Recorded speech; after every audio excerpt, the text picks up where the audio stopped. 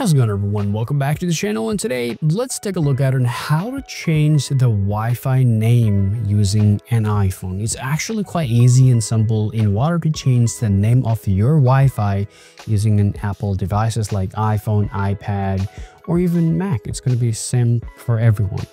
It's going to be same for every devices. Okay, the first thing that you guys really have to do in order to change the Wi-Fi name, you got to go to the settings on your iPhone, then go to the Wi-Fi.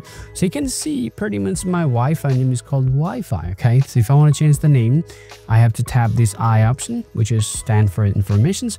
I have to scroll down and you can see there's an option called a router and it's an IP address for router. So I just got to have to copy this router address here get out of here and open up your browser. So I'm using Safari browser here.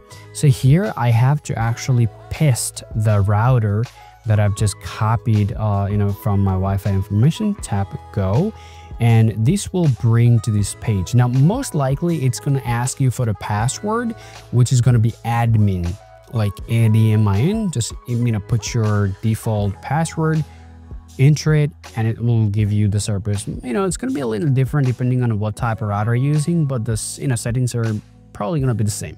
Tap this three dot line then tap wireless and if you just simply tap wireless from here it's going to come right here where it says the network name.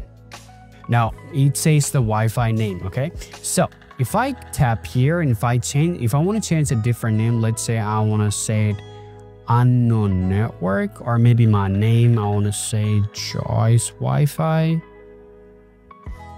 and now if I tap save here then my Wi-Fi name is gonna be changed and I've just done it from my iPhone you can do the same thing from your iPad and your Mac as well. There's still if you guys have any more questions to ask please let me know in the comment section guys see you all around.